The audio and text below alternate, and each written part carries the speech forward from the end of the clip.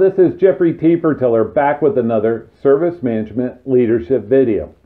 And this topic uh, is on software asset management, SAM for short, and it's geared towards you, IT and ITSM leaders.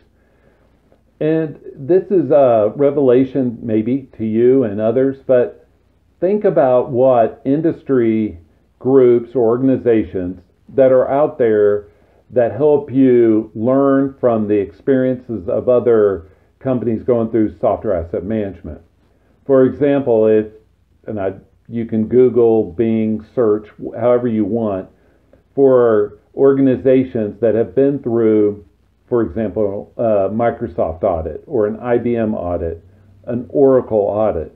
And you can look at these industry organizations, groups, and there'll be some helpful hints on how best to respond to those audits, how best to license, how best to understand where those specific organiz- uh, companies, software companies, where their license position are moving.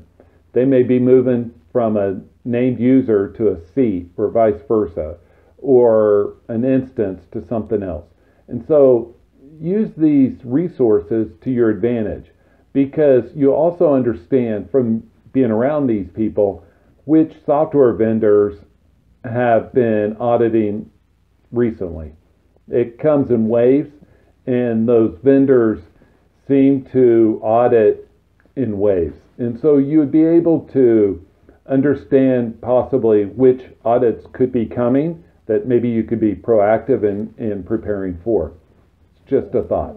Plus, learning more about software asset management usually helps the bottom line of an IT organization. This is Jeffrey T. Thank you for joining us on our YouTube channel. Please like or share the video, subscribe to our channel, leave us feedback below, and feel free to connect with me on LinkedIn. I hope you have a great, great day. Bye.